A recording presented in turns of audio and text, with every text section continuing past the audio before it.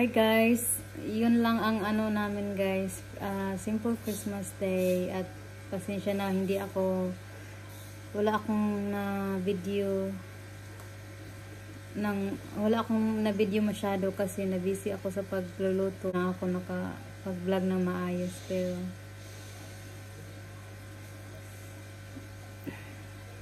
Pero at least, naka ano pa rin kahit ano pa paano. So, I wanna say Merry Christmas sa inyo lahat dyan. Especially to your loved one and family.